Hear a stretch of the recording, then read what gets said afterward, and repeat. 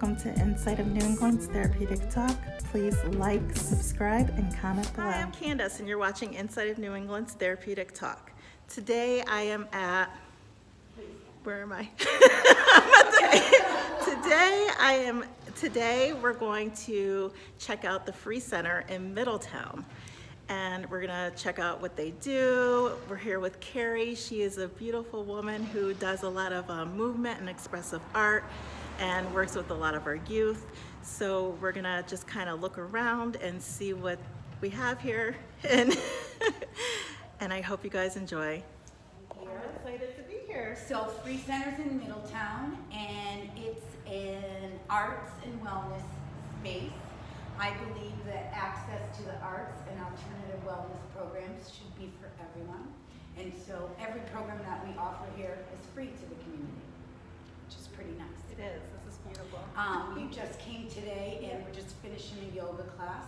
We have Clarice McDermott, who has been a yoga instructor for how long now? Two years. Two and a half years. Two and a half years. And she makes us feel welcome. She makes us feel capable and she creates a safe space for us all to come in here and grow in our practice. Um, so we have lots of art exhibits going on. We do different programs here. There's a men's group oh. um, the second Monday of every month. There is a spoken word uh, program that goes on here on Fridays, and anybody can come. Because of the COVID, we ask folks to register, but you can see that it's very open, it's open. in here. Yep. Our numbers are limited, but it's open and it's a really, um, it's a magical space in here. And uh, I think people that come feel that magic when they come in, that it's for everybody. what else can I tell you? Want me to tell you about me? Sure, yeah, yeah. Oh, God. Okay. so, um, for the last uh, almost 20 years. I have been facilitating um, expressive arts residencies mm-hmm. in invisible and underserved populations. Um, not many people think about um, how the arts are healing and how movement is connecting your mind and brain and it's all connected. And so I go into different schools and hospitals and prisons um, in retirement communities. And I teach language as a movement, as a way to build self-esteem, as a way to make connections between your mind and your body, um, and to get some tools to be able to uh, see yourself in a different way in this world, with more joy, um, with more self-awareness. So I'm excited that you're here and that we'll be using, utilizing this space together. Yeah, this is exciting. and then we're trying to have, are you gonna have like art shows here? Yep, so we're getting, we just, during this pandemic time, I put out a call to the community to submit anything that they created since March. Um, and the exhibit you see is called Safe Spaces. We all need a safe space, and especially being quarantined and isolated, it's even more important that we find a safe space. Um, and so we're getting ready to open the exhibit on October 16th. And every, yeah, it's gonna, we're hanging and installing it now. Folks submitted um, signs from Black Lives Matter protests. Um, they created different pieces of art. There was music, photography. And so we had over 50 submissions from the community. And so I'm in the process of hanging them, installing them, and so folks can come in and, and learn about their community and arts that they created during this time. Yeah, we'll have to get some shots. I Like that one over there is nice. Isn't that great? So that artist, P.R. Sullivan, made that one and he made this one here. He usually works in glass and stained glass, but he was always a painter too. And so he created these over the last you know, six yeah. months or so. Um, there's another young man named Lloyd, African American man here in town, who works at the DMV, but in his spare time paints, and his yeah, work is pretty amazing. Um, that's Andrew, one of the young men that's here from in town. he comes to the yoga classes. He attends a lot of the different programs that we offer here for free. And when I put the call out for folks to send something they created, he had done that self portrait of himself. I didn't even know he was a painter. Oh. So I was like, wow, okay. That's Um, nice. yeah. And then my daughter Zoe actually made Oh. bubblegum one. So she was Oh the first submission. She Oh. made that. She made that dur um, in March and submitted it. But everything in here is a representative of my community. Um, Yeah. My neighbor, she's a seamstress. I had remnant pieces of velvet, and she made Oh, that- unbelievable oh, that's curtain beautiful. for Yeah. us to uh, cover the uh, electrical panels. Um, Yeah. So. Uh, Oh, this has been it's covering that. This has been a, a, a labor Nice. of love here in community. Um, Yeah, let me get a little shot. That little area, this little sitting area is nice. Isn't that great? So this area, well, these chairs were all donated. Um, I work with New Haven Ballet and I work with kids with disabilities. And during the COVID, they had to close one of their studios. Yeah. So they donated the furniture so that I could have it here. Aw. I mean, it's really been wonderful to uh, see. So we have concerts here, we have small events. Um, when you come in, there's a calendar on the back wall so you can see what's going on in the month and Okay. reserve your spot. You know, the community is going to inform what's happening in here. Uh-huh. Um, so that's why it's been left pretty empty. Um, but the community will share their gifts and, you know, it'll evolve as we evolve. Uh, Grand's raising grain, grands Right, here too. right. So grandmas So or there's- Yeah, there's so many grandparents that Right. are raising their grandchildren now. Yeah. And so once a month, um, we've decided that we're gonna create a group just for them to come and share Yeah. and talk about the experience and Yeah. share resources and share frustrations and challenges, but also their successes. Yep. So keep that in mind. Yes. and also, uh, Kerry is also working with um, Suzanne and I on doing counseling inmates, counseling inmates and their loved ones. Right. It's beautiful. right, right. I mean, it's important. There's um, a Yeah. disconnect, I think, in those um, families uh, and children of incarcer- that have a family member incarcerated. Right. And I think there's a disconnect between um, your standard mental health worker or social worker or therapist. There's there's a piece of it that gets lost in translation, and so the connection that you need to feel in order to trust and open up and um, Yeah. gather the tools. If you don't feel that trust, or you don't feel like the person has that understanding of where you come from, Yeah. um, you're less likely to share everything that you need to share in order to uh, to succeed in your Yep. perspectives. You know, so I think that's pretty special that we're all working together to provide Yeah. that.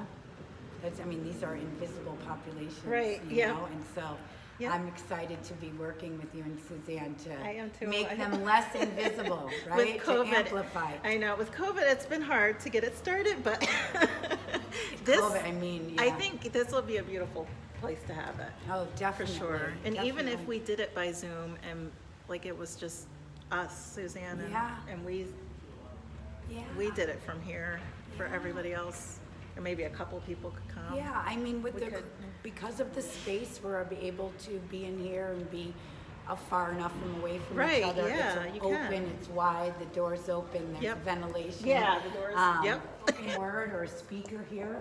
Um, we created a little platform to be like a stage.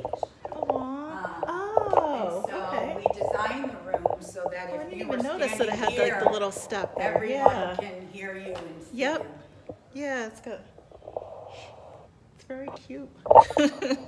and then we've got this whole um the um black uh, Oh, yeah, Pierre's piece. oh that's beautiful. Isn't that beautiful? Yeah.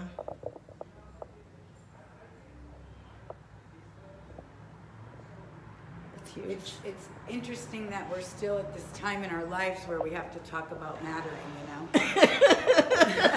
And we have to put it on signs and make Put it it there.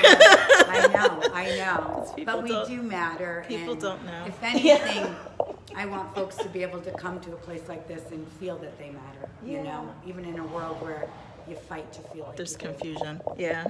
Yeah, there is some confusion.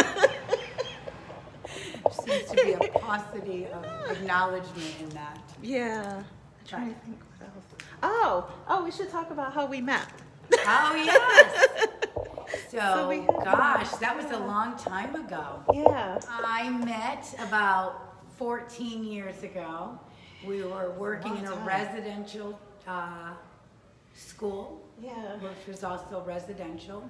It was composed of primarily children that had been adjudicated for some reason or a part of the social system, uh, Right. DCF system. Yeah. And um, we had a tough group, but I think our time there, we gave a lot of girls the strength and the courage to believe in themselves beyond there. Yep. Um, I think over the years, both you and I are um, pretty disheartened that we don't know where our girls go anymore. Right. There's no place for girls and boys to go that are troubled um, um, unless they're in trouble. There's Right. no preventative. Yeah, they have to do something. They have to do get something help. to get help, which is kind of Right. not really help. Yeah. Um, and so I think our goal in reconnecting after all these years is to come up with some preventative programming. Right. um, That will help um, Yeah. these young men and women uh, be able to soar in their life Yeah. um, easier um, and with the tools. And so spaces Yeah. like this are going to be helpful for that. It definitely. I think another thing that's interesting, we both have community psychology degrees. I So- know. and people go, what is that? And I'm like, well, you just widen the lens.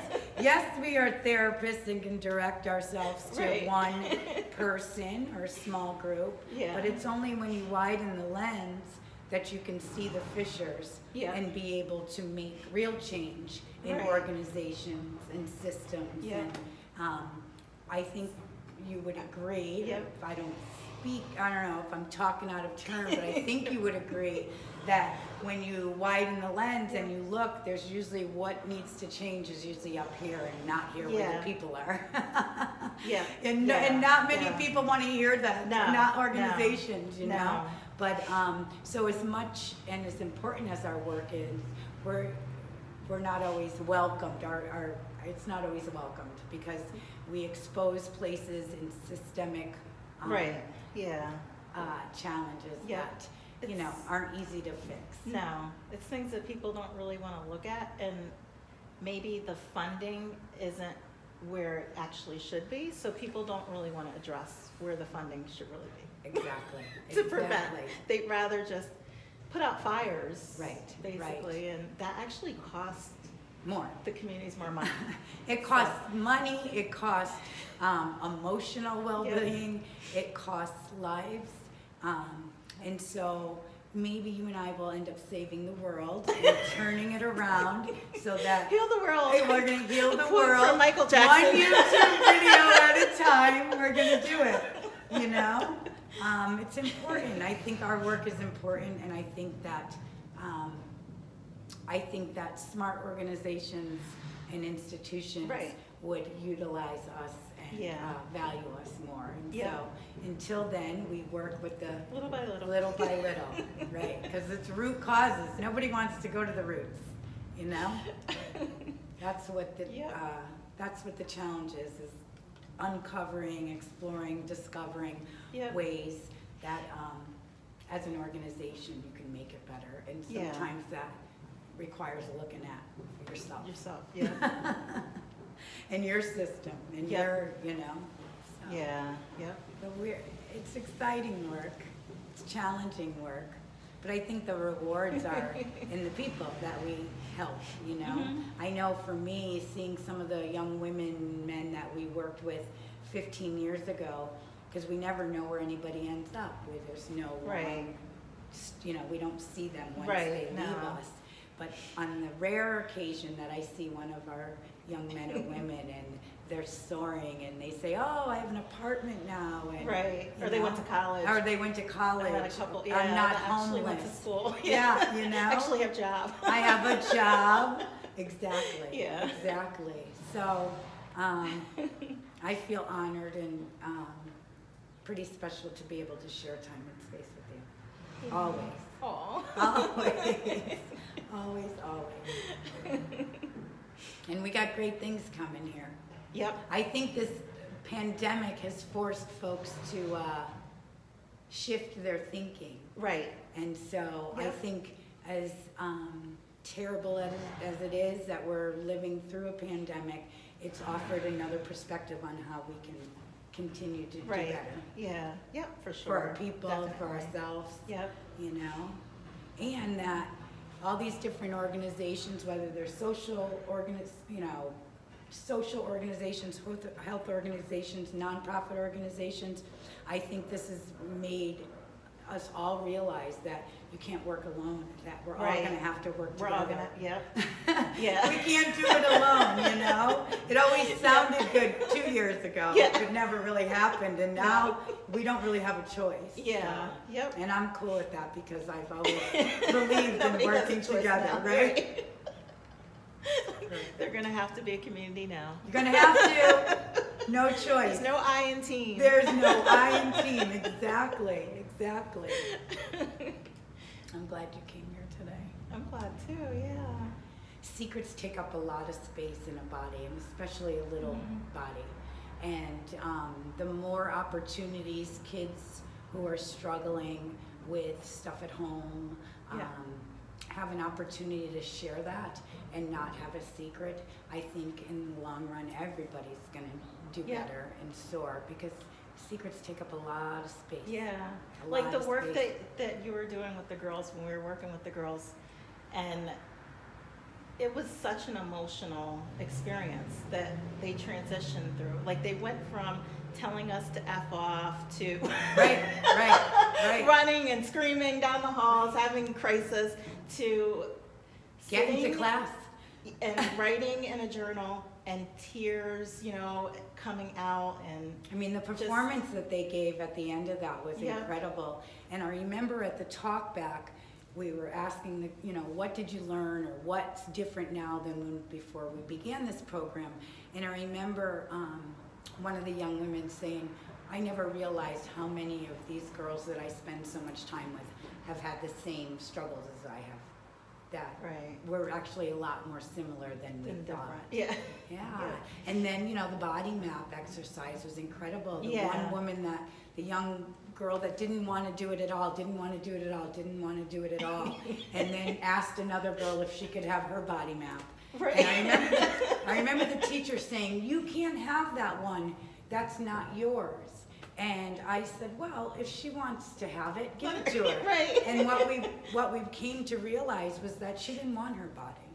Uh, yeah, yeah, And so that's that part where there's a disconnect, yeah. you know, and always instead of trying to meet kids where, Where they're they at, are, have this like this um, template made. Yeah. And not everybody fits in that. No. And you know, she was so funny. She didn't want. She didn't do anything, but she came to class. She didn't want to do anything. I think I remember and she was the first person Yeah. to show up for the performance. Yeah. And I was just like, ah. I mean, there were so many really small Yeah. moments in that time that we spent together that ended up being huge and Right. monumental and and transformative for all of us. I think me as a as a person that facilitates Right. it, um, the girls, girls, for the sure. girls for sure. Yeah, You know, yeah, yeah. It's So- very moving. it was moving. It's still like brings tears. I know. Well, it's so funny that day I said, "Oh it. my goodness, I've been with these The girls tears. every day." And I'm crying like I just saw this performance for the first time. yeah, yeah, yeah. But they were they were amazing. They really were. yeah, I'll never forget it. I don't think they've forgotten it either. I don't think so either. No. we need more of that. Yep. We need more spaces that are safe for Yep. our young people to express, to give voice to their struggles, Yep. and to gather tools um, to understand that you can't change what's happened to you, but you can change how you react to Right. it. You know, and I think that's really important. And I think that um, we need more of that in our schools um, and in places where our children are. Yeah. Yeah. Yeah, expressive art is powerful. I know, and the writing, I mean, so we had lyricists, we had everything Yeah. that day. Songs. I remember the one, we've had everybody finish the sentence, my My mother mother. taught me. Yeah, yep. And the responses, I mean, the one young woman that said, my mother taught me how to wet the broom to pick up the shards of glass after fighting with my Yeah. dad. You just sit and Yeah. hold that and pause in that, you know? Yeah. My mother taught me how to smile, how to smile through the pain. Yeah. Those were honest and those were Yeah. real responses. Ones that you and I could have never come up with. No, yeah. Unless you yeah. live that, Yep, you you know, it resonates it with to- you. Yep. And it's Yeah. funny, every time I break a glass, I think about her when I'm sweeping it. Yeah. Don't make me cry right now. It just- I mean, I remember? know. I think it was it was the same girl that said like my mother didn't want me. She didn't. Yeah. Yeah. She wrote the song that said, Never again. Oh, yeah, Never again will you mistreat me. Never again will you not hear me when I cry. Never again will you leave me, deceive me. Never again. Yeah. And it's crazy how you remember every single Every word of it. You know? It's It was so really moving. It was moving. Yep. I mean, we opened up that show with the FU dance. They had said FU to us so many times. I'm like, let's make it a Carrie dance. was like, let's make a dance now. When you come out on that stage, you can't say it as the DCF worker, your guardian um, ad litem, um, the teacher, the administrator. Everybody has a movement that says this. Come out and do it. And they didn't. Oh, we'll have to play that recording. We'll have to go back and revert the tape. I know. And then that song at the end, we had everybody tie. Um, we had everybody tie a scarf around where they held their pain.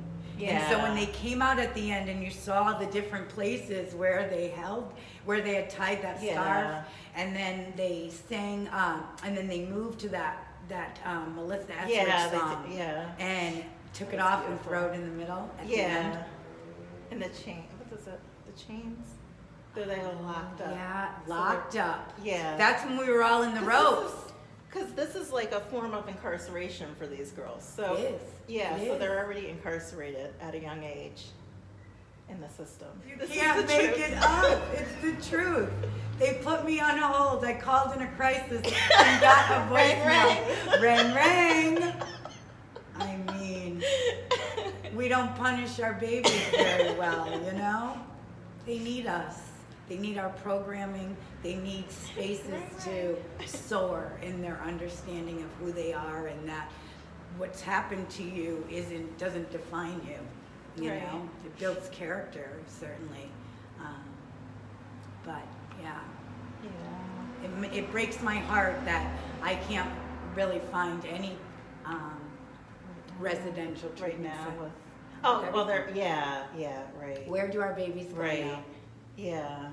I don't know. Most of the residential treatment Like centers that. I've always worked at are now, are now, their capacities are filled with children with intellectual disabilities. Right. You know, and it says, okay, well, I can't imagine that troubled children stopped being troubled. Right. Did everybody Yeah, just figure they, it out? They just got better. They just all got better. Right? And said, And so then you look at the dollars on that. Where's the higher dollars go? Higher dollars go to children with more um, disabilities. Right. Whereas when there's behavioral stuff going Right. on, there's not a lot of money in that. No. And unfortunately, um, our kids suffer the most for that. Right. And the families, because they can't get the services. I've spoken to so many mothers and fathers who need services for their child and just resources and just can't access them. They're not just there. not, they're not available. I was looking, I remember I was It's looking for a program.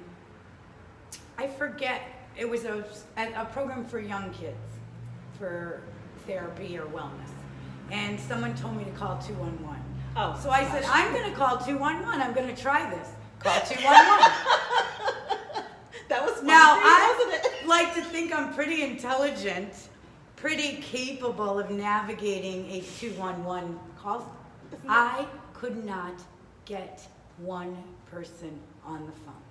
No. So I can't imagine not having the skill set to navigate online. Right. Yeah, yeah. What if you don't have online? Right. Yeah. Or if you don't have Because minutes a on your phone. A lot right. of people run out of minutes. right, I, I'm not gonna use my minutes to Yep. stay on hold to be transferred to who? right. To where? Yeah, it was really frustrating. It's very frustrating. And I mean, I know resources, but I Right. couldn't get any that day. No, 211 is, it's really hard. It's hard. It's really hard. Yeah. Especially now, because there's a lot of hold time. Yeah. I remember one of my, my uh, young women that I worked with, she says to me, I'm so upset. I said, what? What's the matter? She said, you know, she has an eating disorder. She said, and I called Overeaters Anonymous, and they put me on hold. Oh, no.